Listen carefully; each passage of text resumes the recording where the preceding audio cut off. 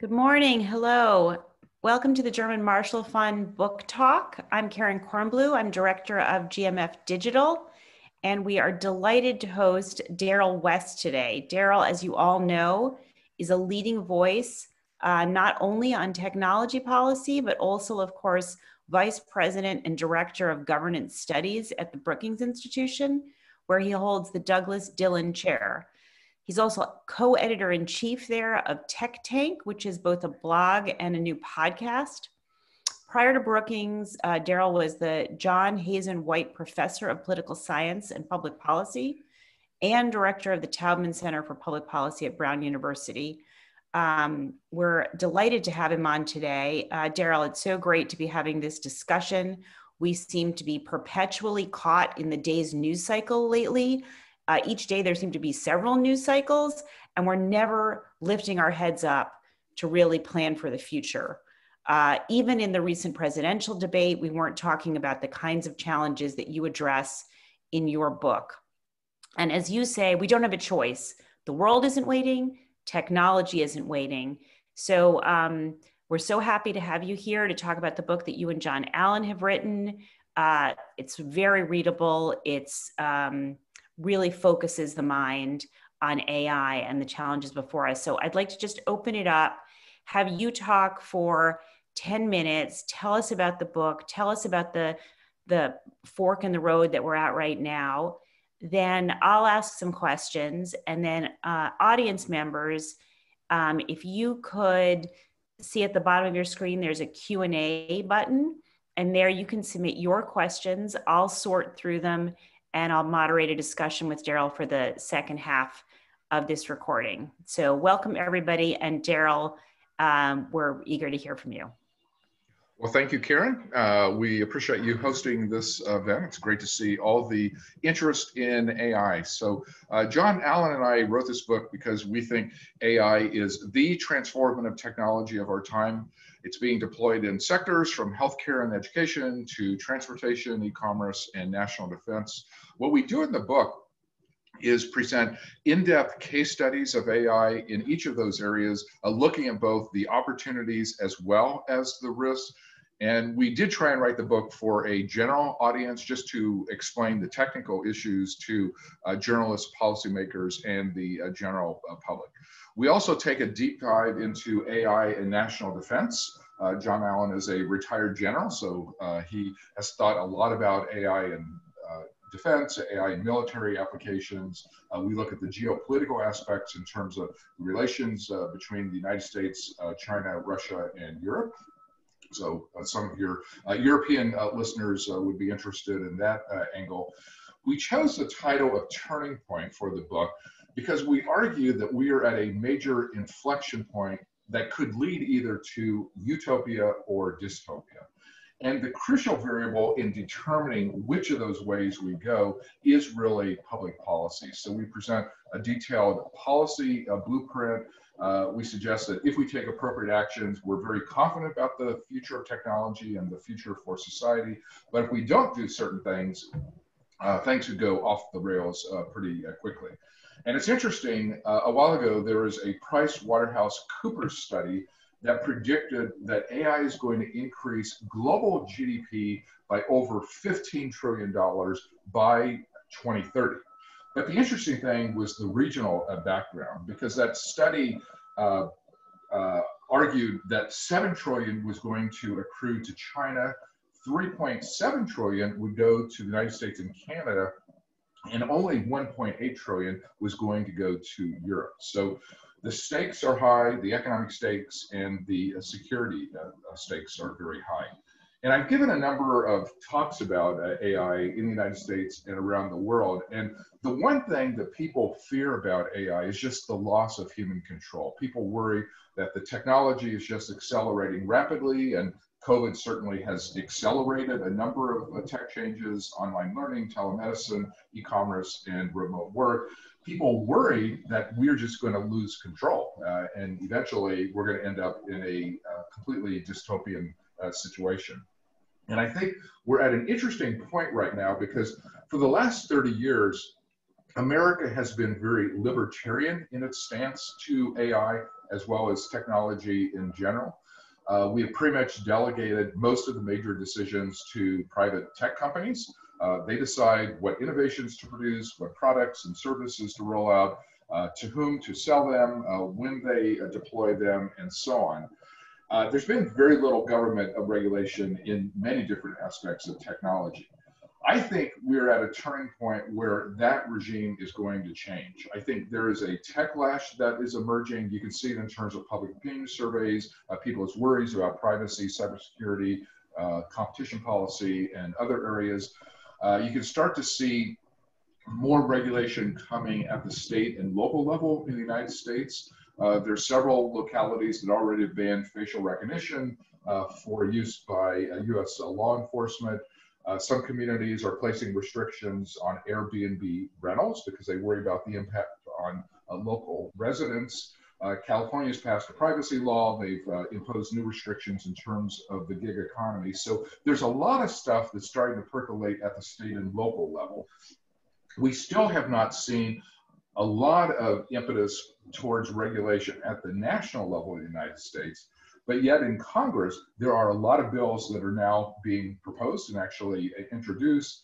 Uh, the House Antitrust Subcommittee has been holding a series of hearings uh, and, and, collecting evidence that they suggest uh, that uh, the United States has a big problem uh, with the large uh, tech platforms, that we're losing competition, there are harms to small and medium sized businesses, they are about, uh, that committee is about to produce a report that's going to have some far reaching uh, proposals uh, for the uh, tech sector. So I think we are at this inflection point where people are seeing enough problems. They're wanting a more active uh, government role. So the book kind of lays out what some of the options are, and then we make our own recommendations in terms of what we think makes sense going forward. That's a great overview.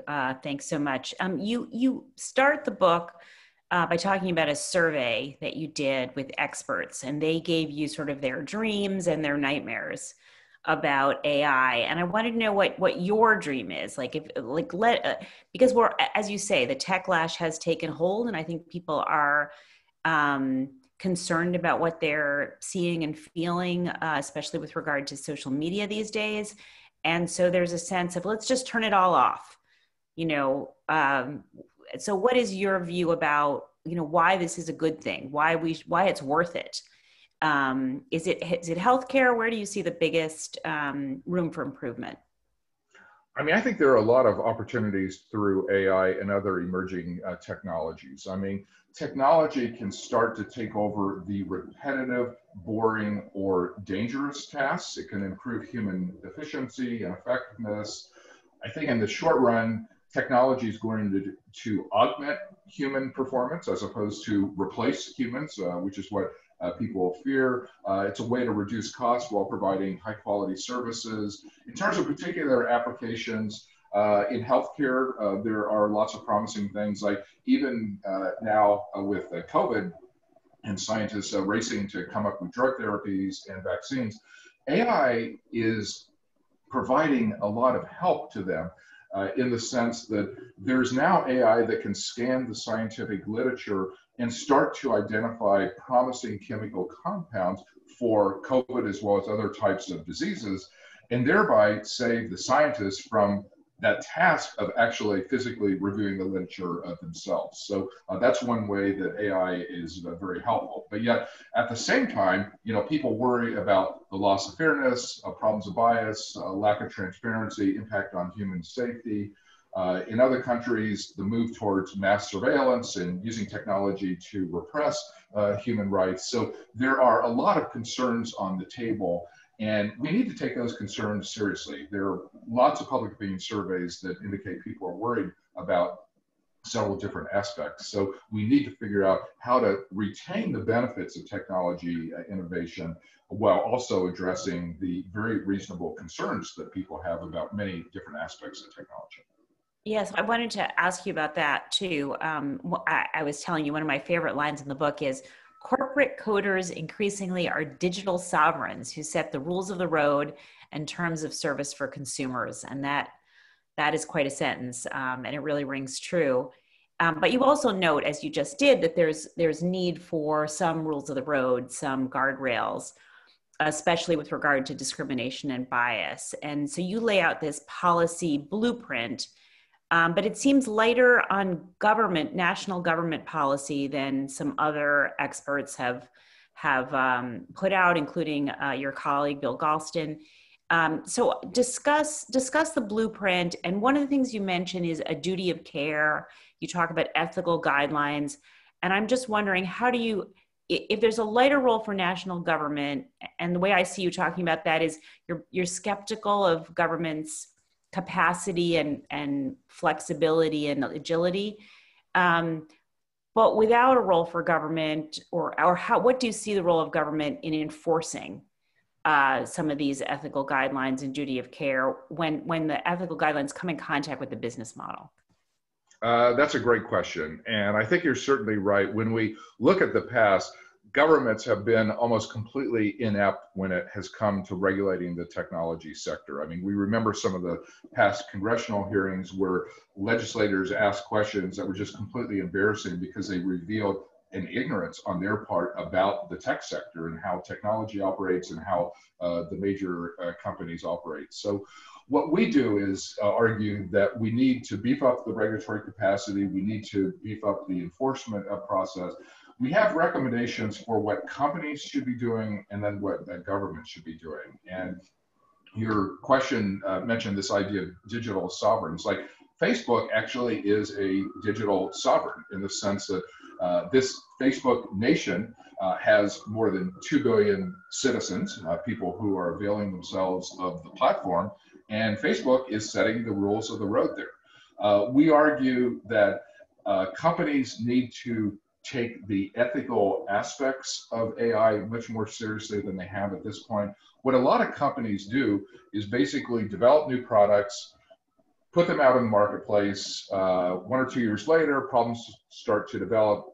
And then we say, oh my God, there are all these problems. And then they try and uh, figure out how to mitigate uh, those uh, problems we argue that's way too late. We have to become much more proactive. Companies need to start hiring ethicists. Uh, some companies have started to develop uh, AI ethics codes to guide their product development. Uh, some have developed AI review boards uh, so that they can anticipate what the possible problems are of their products while they still are in the design stage and then uh, try and figure out how to address those problems before uh, the AI gets uh, widely deployed. So I think there are a lot of things companies can do, but we can't just count on the companies. Like government needs to step up as well. We have a bunch of different uh, recommendations. I'll just mention a, a few. Uh, one is uh, we need to start developing AI impact statements. Uh, this idea is kind of modeled after the environmental impact statements of 50 years ago. Uh, back then, uh, as companies were starting to engage in various economic development uh, projects, we knew there were certain consequences for the environment. so we basically had a requirement that companies had to explain what their economic development project was, what the possible harm was to the environment, and then work out mitigation strategies to deal with those harms. We argue that we need the same type of thing uh, in terms of AI. And this is for publicly funded large scale projects. So it's not your mom and pop uh, coding uh, projects, but you know the big projects that are really going to affect a lot of people. And that organizations need to think about uh, what the AI is, how it's being deployed, what the possible problems are, and how we can mitigate uh, those uh, issues. We just need to incorporate these types of concerns much earlier in the development process than uh, what we've done before. Bias is clearly a big problem uh, in terms of AI. Uh, there already have been some well documented uh, racial biases and gender uh, biases. Uh, facial recognition software is much more accurate for Caucasians as opposed to minorities, in part because the training data overrepresents Caucasians and underrepresents uh, minorities. Uh, sometimes uh, there has been as much as a 30 percentage point differential in the accuracy rates there. So we need to start uh, with facial recognition as well as other technologies think about the equity angle, the fairness angle, and the bias question, there are a lot of anti discrimination rules and anti bias rules for the bricks and mortar world. We need to figure out how to deploy those ideas for the digital economy. There are new types of issues that are popping up, uh, new types of rules and regulations that are going to be required. Uh, but you know, we need to uh, uh take that seriously we need to invest a lot more in digital access and broadband to make sure everybody can share in the benefits of the technology uh, revolution. We need a national data strategy. A lot of the data now are proprietary in nature and are in the hands of the tech company. Uh, researchers don't have access to that information. So a lot of the AI is being deployed for products that are commercially viable and AI for the public good gets short shrift because the companies perceive there's no money uh, in uh, those types of things. This is a role that government can play in providing funding for things that might not be commercially viable, but might be socially valuable. They might help local communities uh, figure out how to deal with traffic and environmental problems. Uh, uh, they can figure out how we can uh, do a better job on sustainability. So there are a bunch of things that we think government needs to start to do. Uh, and this old libertarian model we think is going to fade away, and there is going to be more public oversight, public engagement, and public regulation. Uh, that's great. And I, I want to get more into those um, positive scenarios and how we spur them on. Um, but just to stick with this theme for a second, because of our transatlantic audience, and, and I already see questions that I'll come to in a minute when I turn to them. But uh, just to tease it, what do you see in the differences of the approach between how the US and the European Union are, are handling AI now? There are still substantial differences uh, between the two uh, regions. Uh, again, the US up to this point has been pretty hands off, although I think that will start to change the EU has, you know, consistent with its stance on privacy, uh, data protection, and data sharing practices, has been much more pro regulation, uh, wanting tech companies to respect basic human values and make sure the technology serves uh, good uses as opposed to uh, bad uses. On AI in particular, the EU has developed what it calls a risk-based risk-based approach uh, to uh, regulation in which the regulation is proportional to the scope and use of the AI and the possible impact on uh, human beings. So the EU has already identified several high-risk areas in terms of AI applications. Uh, transportation, healthcare, and energy are among uh, the areas that it has identified. Transportation is considered high risk because a lot of the AI applications, excuse me, are occurring in the area of autonomous vehicles. Like autonomous vehicles are, are all about the AI because the AI is what integrates the LiDAR information, the camera information, and the remote sensing information, and it does it instantly uh, and is adaptable, you know, based on changing road conditions to make sure you stay in your lane. Uh, and but you know, AI in the transportation area carries a lot of risk because of the potential for uh, car accidents and fatalities arising from that. So the EU is basically saying AI applications in these high risk areas deserve a fairly significant amount of government oversight and government regulation. There needs to be reporting requirements, uh, disclosure rules, and, uh, and, and guardrails to uh, protect humans. There are other areas that they define as lower risk, and there they don't want there to be a lot of regulation. They're going to re- uh, uh, basically trust the companies more to uh, engage in uh, voluntary activities that protect human beings uh, because the risk in terms of the scope and use is deemed to be uh, much less. So I think that's a pretty useful way to think about regulating AI and I think as the United States starts to move more in the direction of uh, regulating AI, we can learn a lot from the European Union because uh, what we don't want to see is heavy handed regulation that kind of stifles innovation in general because innovation is going to be the engine for the economy uh, and uh, there are lots of good uses that can come out of it. So this proportional risk-based approach, I think, makes a lot of sense because you can distinguish AI that has a lot of possible harms and therefore needs to be regulated versus those that have far fewer harms and therefore uh, uh, we can be a little more hands off in those areas. Yeah, your your two by two matrix that you lay out um, seems to suggest that kind of risk based approach. Yes, yeah. In the book, uh, we have a two by two uh, table uh, that basically uh, kind of follows the same type of approach, distinguishing four different categories, moving from high impact and high risk to low impact and uh, low risk, and with the amount of regulation varying depending on whether the AI uh, falls on those uh, particular uh, dimensions. So, from our standpoint, you know, you want the regulation to be strong enough to address the problem, but not so strong that it stifles the innovation. So, kind of getting that mix right, protecting innovation on the one hand, but then regulating bad uses of the technology and potential harms to humans. That's kind of the balance that we were going for. That's very interesting. It's um, very similar, but slightly different from the European approach. So um, I do want to get at um, the uh, the sort of race with China.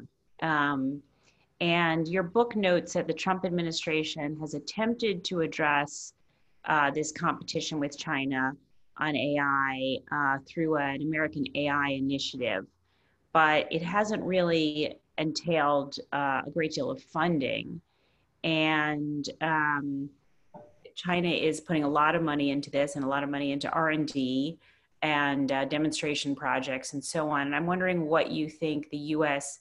should be doing to spur on uh, development of AI.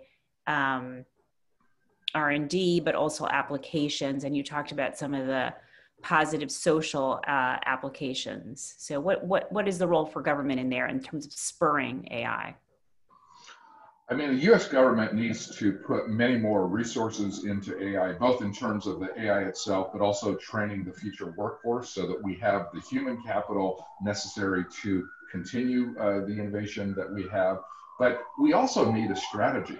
Like the United States does not have an AI strategy. I mean, you mentioned China's putting big resources into AI. They're thinking a lot about how they want to use it and what their goals are. They're very strategic in how they're uh, thinking about it. Oftentimes, the strategy is incorporating bad human values, so we have to be cognizant of that as well. But the United States does not have a strategy. Our strategy has basically been delegating all of the AI decisions to private companies. The problem with that, our companies have been really successful at developing uh, innovative and uh, successful commercial products and services, but the category of AI for the public good, AI for national defense, uh, AI that uh, would improve healthcare, like those areas are lagging. And if we had more of a strategy and if we had more government investment, it would help the United States develop AI in areas where there might not be a commercial market right now, and it might not be the most profitable area, but it could be really valuable for society. Like there are lots of AI uses in terms of energy management, uh, climate change, uh, environmental sustainability, and so on. The government can play a very positive role there. So the R&D uh, feature we think is uh, very important. And to talk, continue on about the workforce transition because I think a lot of the fears are about humans being replaced. Um, and you know, we talk all the time about workforce transition and workforce training and lifelong learning. And I think, I think um, average citizens are pretty skeptical about um, the extent to which any of that has materialized or been successful. What can we do that's that's different? What can we do to really make it a reality as given this challenge? I mean, there certainly are going to be some job losses from AI and other emerging technologies. I mean, certainly people in entry level uh, positions uh, that are kind of routine and repetitive in nature, those are very easy to automate. Those are very easy to develop AI solutions. So people in the retail sector, like Amazon already has opened retail outlets with no human clerks there, no sales clerk, no uh, cash registers. You basically walk in through the turnstile. You have the Amazon app. It identifies you. You go shopping. You get the items you want. Uh, the store has computer vision that then uh, uh, identifies what uh, you have picked up and it will charge you and you walk out. Like you don't have to go to a cash uh, register. So uh, in the finance area, there's a lot of use of AI that is going to have some job consequences. Radiologists is an example of a higher level profession where there's going to be a risk because there's AI now that can read CAT scans and X, X-rays almost as accurately as human radiologists. So it's people worry more about the entry level, uh, and rightfully so, but some of these higher level uh, occupations also are at a risk. Uh, but in the long run, I am kind of less worried about the job loss possibility than what I would call the job mismatch problem because AI is also going to generate jobs. Uh, certainly, anything involving uh, data uh, is going to be very much in demand. Uh, image tagging is a job that's going to uh, create a lot of opportunities because with all of the AI that can read images and videos, there has to be somebody to tag them so that we can train the AI to do that. So there are definitely going to be new jobs created. But the problem is people may not have the skills to take advantage of those new jobs. So as your question suggests, we need to take workforce development much more seriously than we do uh, now. In the United States, we actually spend a lot of money on workforce development, but it's not very good training. Uh, people come out of those programs, and in many cases, they don't get jobs. They're trained for jobs that no longer exist, or they're given skills that uh, aren't uh, in need uh, uh, or are not needed by the uh, companies. And so we need to figure out how to do workforce training in a much better way because the old model where we invested in education up through about age 25 and then after that people are on their own is going to become uh, quickly obsolete. Uh, we're going to have to move to a lifetime learning model where people are going to need to upgrade their job skills at age 30, 40, 50, and uh, 60. Uh, there's going to have to uh, be a much greater emphasis on adult education. Uh, online learning platforms are uh, going to explode. Uh, I was on a, a panel, I think it was last year, with the CEO of one of the online learning platforms. He predicted that within 10 years, the adult education market was going to be as big as the current higher education market. Now, I don't know if he is right in terms of the magnitude of that prediction, but he is certainly right in the direction. We, we're going to need to put a lot of more emphasis on training people above the age of uh, 25. So just figuring out how to do that efficiently and effectively is a very important task that we need to figure out. Yeah, I hope I hope we can, um, and that we put the resources into it. Um, so we have a bunch of questions, predictably, on U.S. and Europe, and I'll just read two of them, and then I'll tag something on. So Roger Hood asks, do you predict the US and European allies need to be in lockstep on AI development to defend and secure the Western alliance?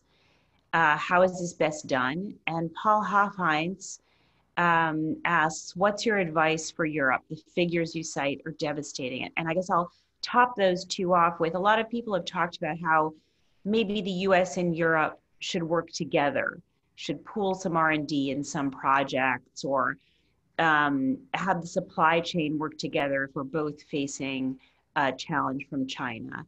Um, well, how do you see it? What should Europe be doing? What should the US be doing? And how can we be doing these things together?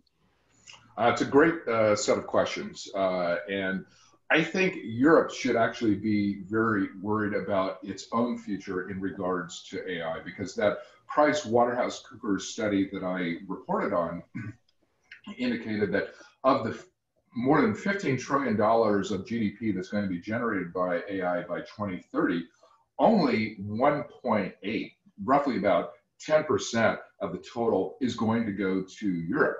Like half of it's going to go to China, uh, about a quarter of it will go to the United States and Canada, but only 10% is going to go to Europe. The problem is Europe does not have its own indigenous technology uh, sector of the large platforms that have done well globally like the United States has been very successful at producing multinational companies in the technology area, developing new products, and then getting some of the economic benefits uh, that uh, come out of that.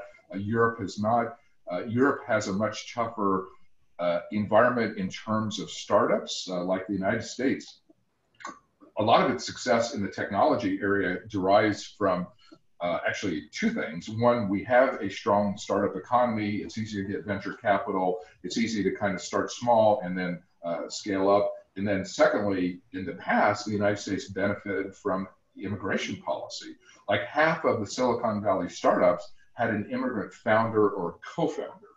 Uh, although, of course, now the United States is getting much tougher on immigration, and the United States should actually worry about how that's going to negatively uh, affect the uh, tech community. So, I do think there's an argument for Europe and the United States to work together because right now there are three separate regimes in AI China, the United States, and Europe. The United States now is basically in this arms race with China over AI. And by the way, it's not clear we're going to win that arms race because China has a lot of advantages in terms of developing AI. They don't have the same privacy concerns, the same commitment to human values that we do. They have a large population. It's easier to develop AI applications and then scale up.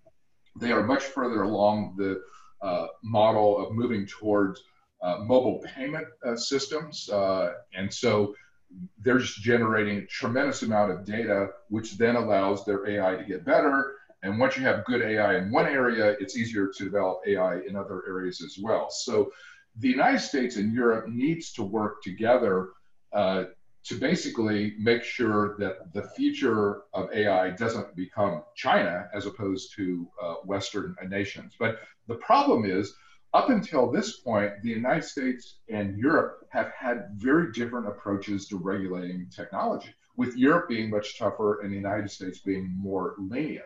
And so it's harder for us to work together given the very fundamental differences in how we see the role of government and how much regulation there should be.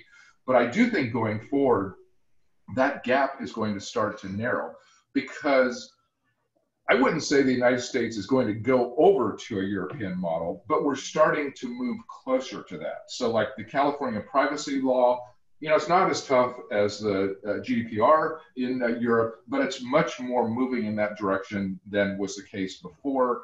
Uh, a lot, I think, depends on the upcoming US election, but if by chance we end up with a Democratic president, a Democratic House, and a Democratic Senate, Democrats want to regulate the technology sector.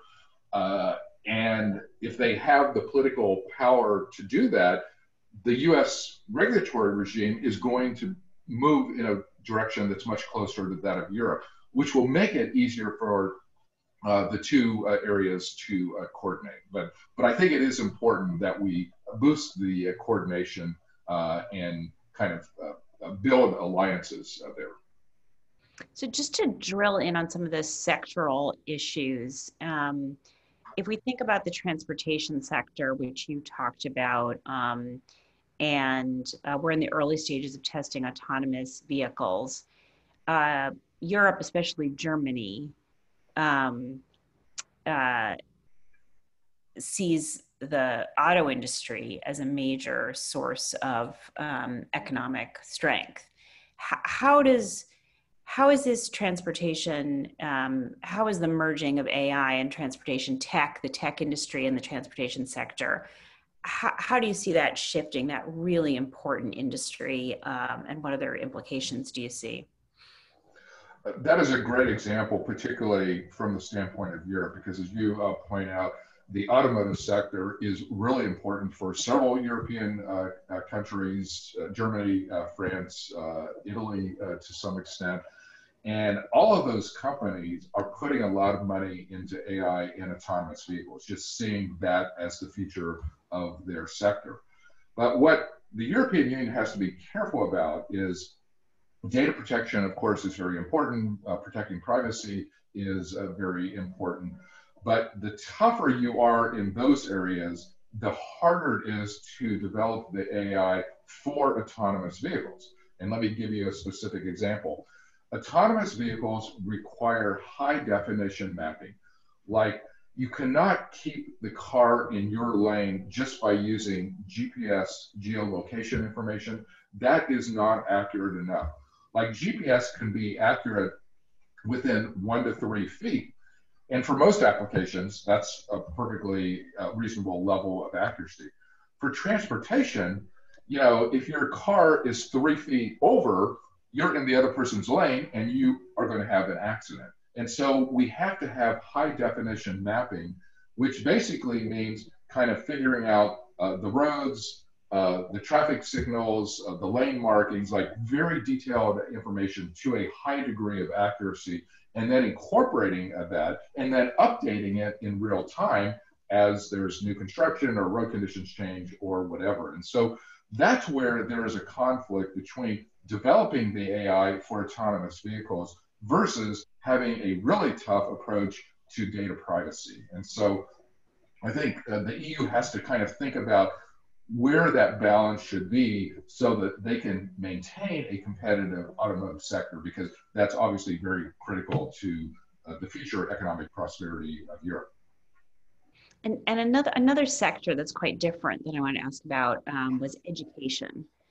And so you talk about AI being deployed in terms of school assignments, student assessment, school safety, um, and then we've also talked about the importance of improving education and uh, workforce training. And you talk about how AI can be used to empower teachers um, by giving them um, more tools in terms of tailoring um, so, so talk a little bit about the the benefits and the risks of education and what public policy needs to do to mitigate the risks and get the benefits. I mean, I think there are a lot of opportunities for very positive AI applications in the education area in uh, particular. And COVID has revealed both the opportunities, but also some of the problems that have de- developed there and, and what we need to address. But on the opportunity side, like AI and online learning tools can help personalize the learning process to the needs of individual students. We know students vary a lot in how quickly they pick up materials. Like some people kind of pick it up instantly and can move up uh, to uh, more complicated stuff uh, very quickly. Other people need more repetition, uh, takes longer, and they need more uh, personal attention in a typical classroom, it's very hard for a teacher to navigate those types of student differences. But through online platforms, you can tailor the learning process to the needs of that individual student. Students have very different learning styles, very different learning uh, patterns.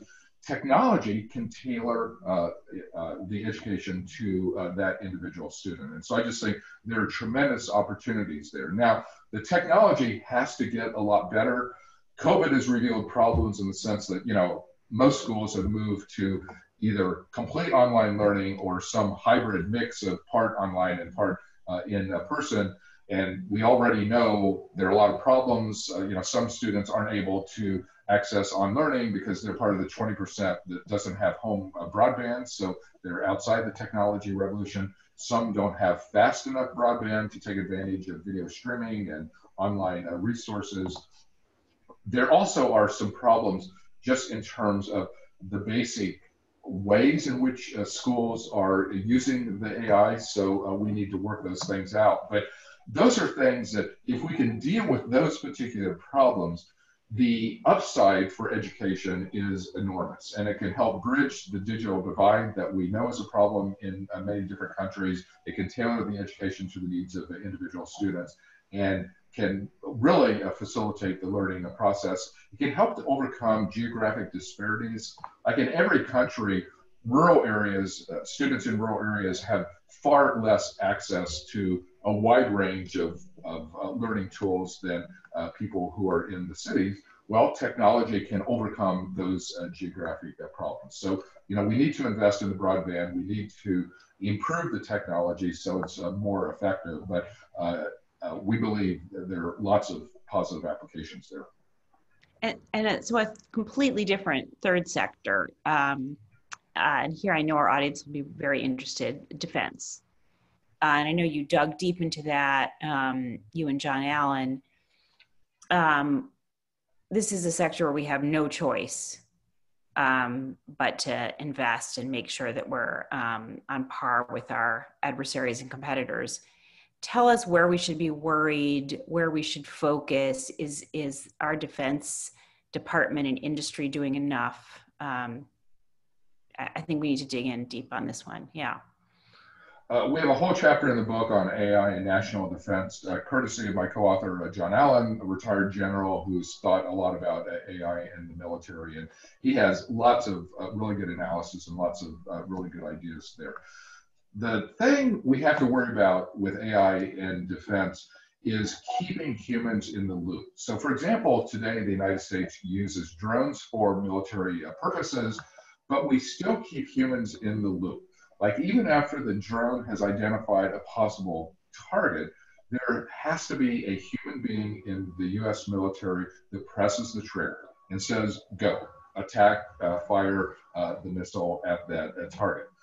Our adversaries are not necessarily incorporating the same logic. They're not keeping humans in the loop in the same way. There are lots of very scary AI applications in the military, from military drones that don't have humans in the loop, that somehow they're pre-programmed that if you see condition A, B, or C, you fire regardless. And there's no human judgment or human oversight to stop that.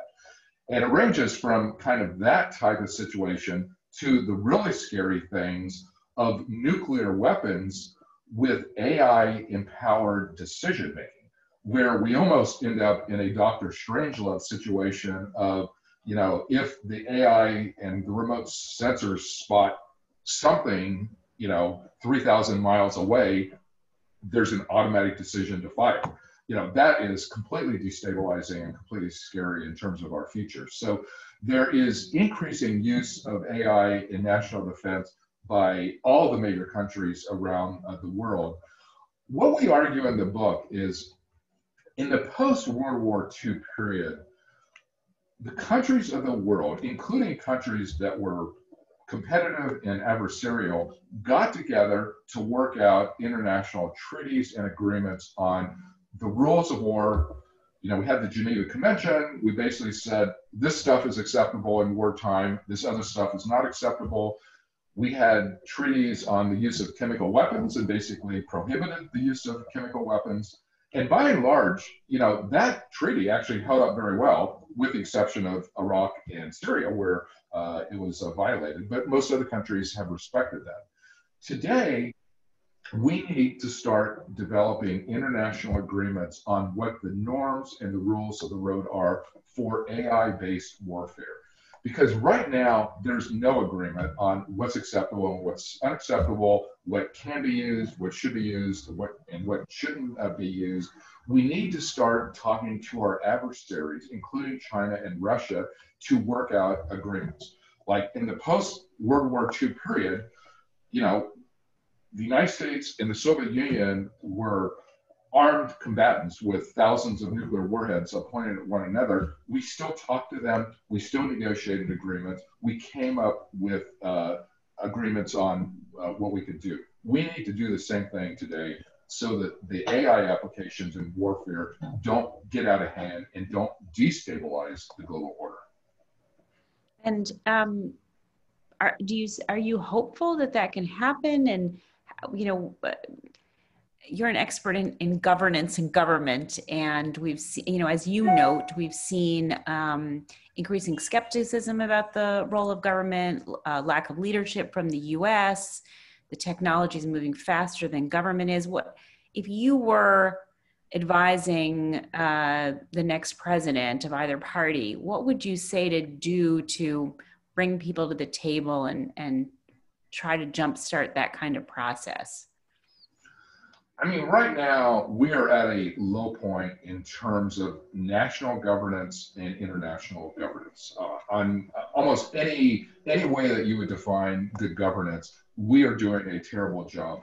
In the United States, clearly that's a problem, but it's true in many countries. When you look around the world, most countries now are having serious to severe governance uh, challenges. So if you ask me what is the situation today and what is the basis for optimism, the honest answer is there's no basis for optimism because we're doing a terrible job.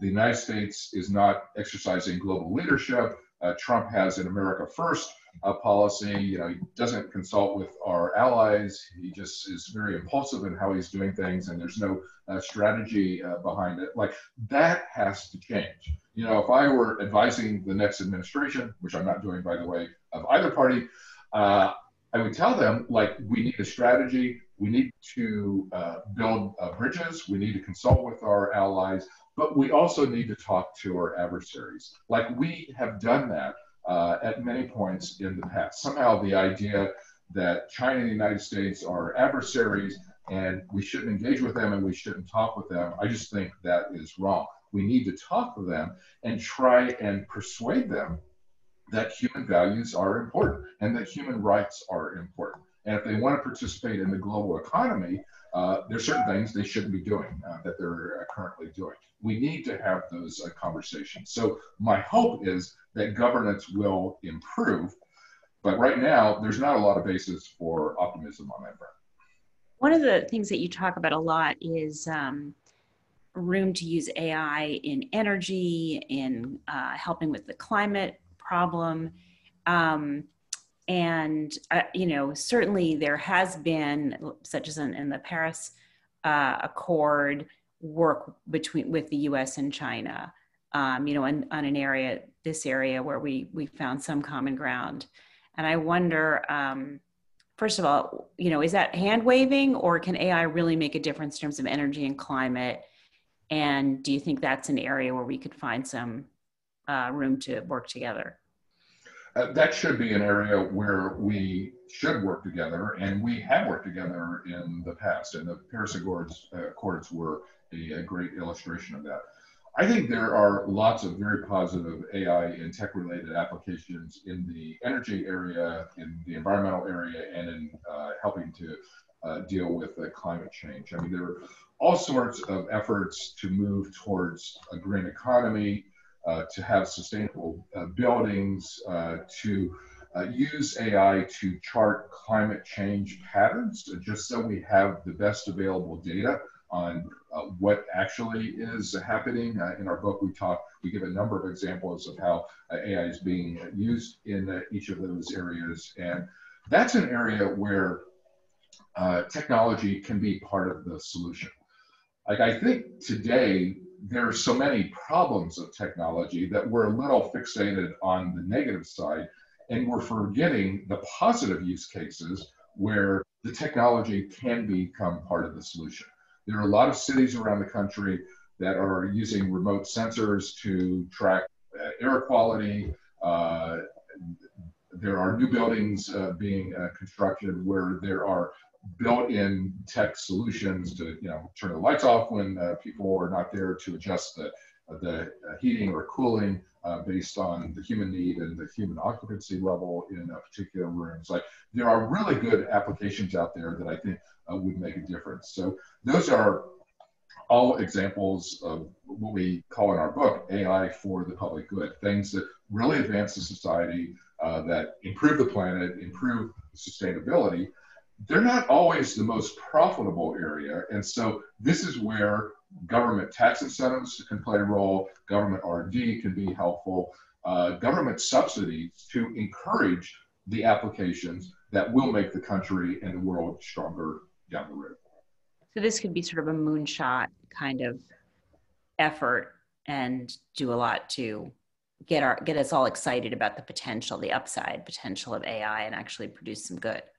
Yes, absolutely. No, there are many positive uh, applications out there, and I think you know that's one of the opportunities the United States is missing uh, right now because you know we're having all these debates about the role of government, and you know there's a, a large part of our uh, U.S. society that doesn't want the government to play a strong role, and you know they trust the marketplace. Well, the cost of that philosophy is we are not investing in AI for the public good. So what we're getting is more negative applications and, and commercial applications that have negative fallout without having the ability to counterbalance that with AI for the public good that can improve humanity. So we need a much better balance there than we have right now. And, and talk to us a little bit about, um, you know, if you were at OMB, let's say, you know, and you were thinking about how to make the government work better, whether it's the Department of Transportation or the Federal Trade Commission or the Federal Aviation Administration, so that they could meet these challenges and both spur on the good, but also work with industry on mitigating the bad. Um, is it a question of hiring different people? Is it a question of having more capacity? What should they do horizontally across agencies versus, you know, updating themselves? What what kind of advice would you give to the to the next White House about how to update the government to deal with these challenges? Well, we have to be honest The technology innovation in the US public sector is terrible. Uh, I mean, you have been in that government. I know lots of other people have been in government. Like the gap between how technology has revolutionized the private sector and private organizations versus how it's barely being used in the public sector and in government agencies is mind boggling. Uh, I mean, America has some of the best tech companies, but we're not availing ourselves of the expertise that is out there. So that just has to be a high priority. Uh, so in terms of what we need to do in particular, you know, we need people in government who understand the technology. Uh, we need them to work closely with tech firms so that the tech solutions that are out there and already are widely used uh, by private companies uh, get uh, used in the public sector.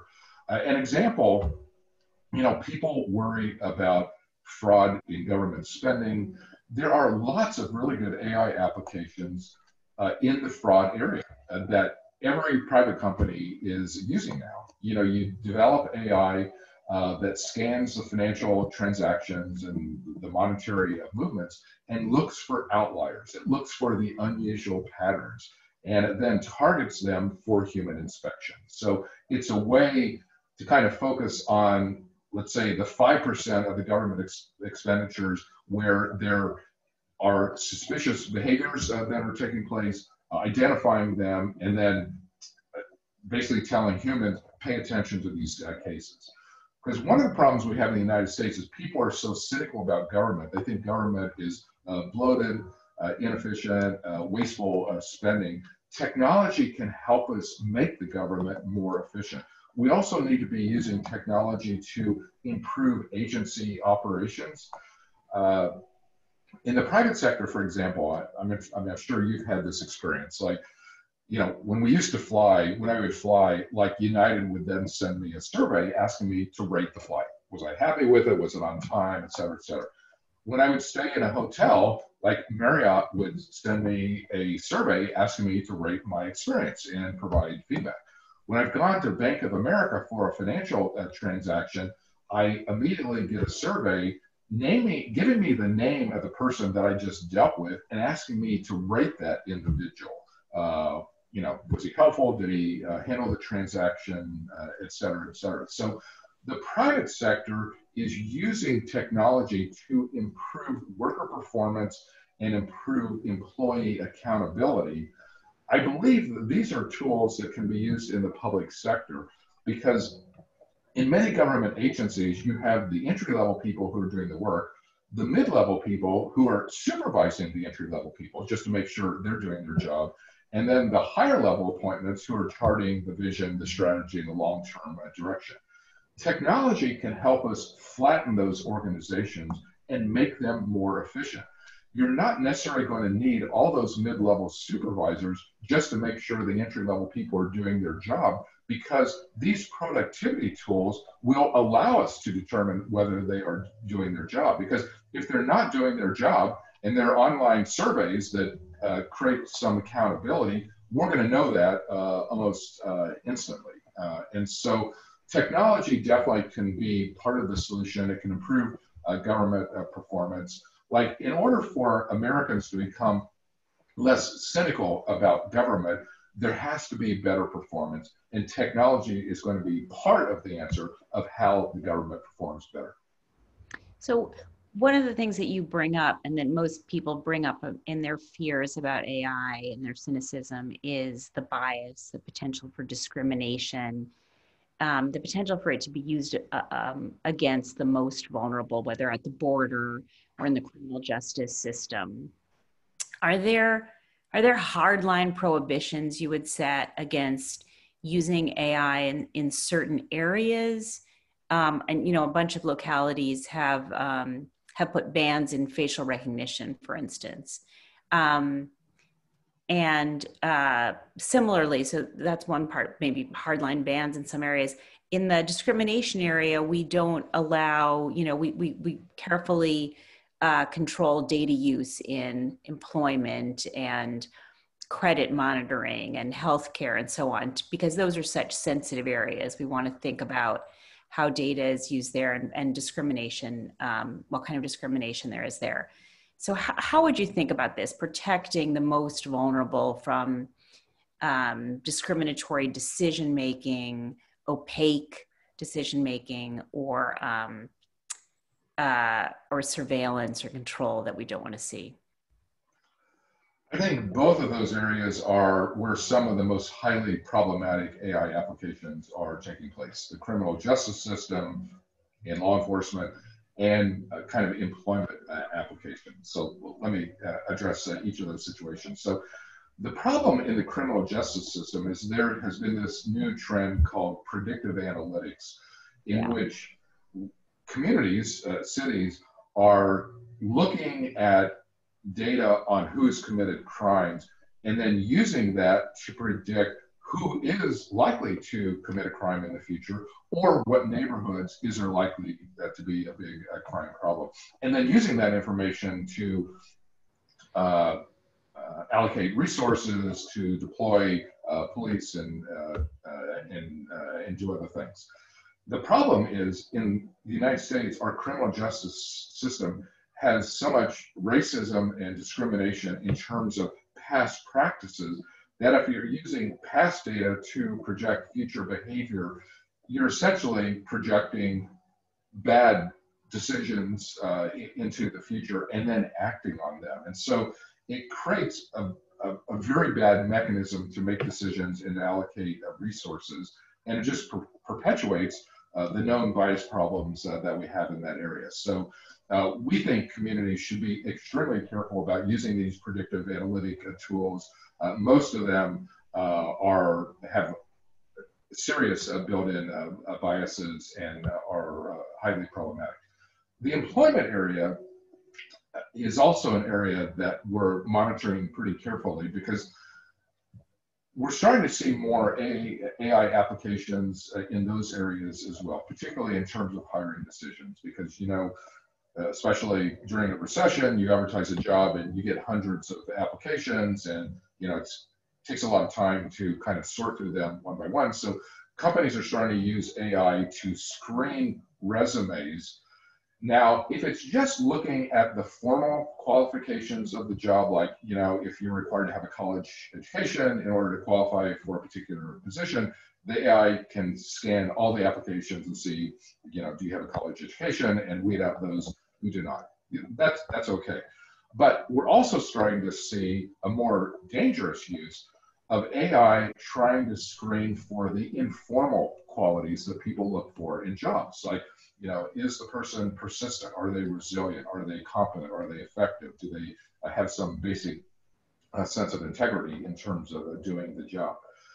There are companies that are advertising AI solutions to monitor for those types of things and the AI is not that good. The AI is not accurate. That's an example of an AI application that should be strongly discouraged, if not prohibited, because it's just not accurate and it's not effective at performing this task. So I think you're exactly right that uh, there are certain applications where they're just built-in biases given the nature of past practices and unrepresentative data that we have, and we need to be very careful about uh, uh, deploying AI in those particular areas because they do have such important consequences for human beings. This is such a, a fascinating subject, and I'm so glad you wrote this book. And I feel like it covers everything. You know, I mean, I feel like this is, you know, the future of governance. It's the future of the economy. It's the future of um, civil rights, and uh, and you've you've somehow managed to make this incredibly readable book uh, that that um, doesn't make us anxious confronting these big questions and really holds our hand through it. And uh, you've done a real service there. And so um, I really appreciate your taking the time to talk to us. Did you have any final wrap up thoughts that you wanted to leave the audience with? Uh, this has been so magisterial. I don't know if you have anything left to say, but I want to give you the last word. Yeah, I'll just close with one uh, quick comment and, and uh, want to thank you for uh, providing the uh, forum and appreciate all the uh, terrific uh, questions as well. I think in the end, John Allen and I are optimistic about AI in the sense that we argue in the book humans are still in control. I mean, there clearly are big problems in terms of bias, fairness, transparency, and human safety, but there are ways to deal with all those problems. In the same way that when you look at the history of new technologies, there always have been problems of any new technology, and eventually we figure out how to uh, deal with them. We have the ability to do that right now. It's just a matter of thinking about the policies, the laws, and the uh, regulations. So uh, I think for people who are concerned about uh, technology, they will find a book that's pretty honest about assessing the problems of the technology, but also in trying to propose solutions for dealing with those issues. Thank you so much. Thank you very much, Karen. Appreciate it.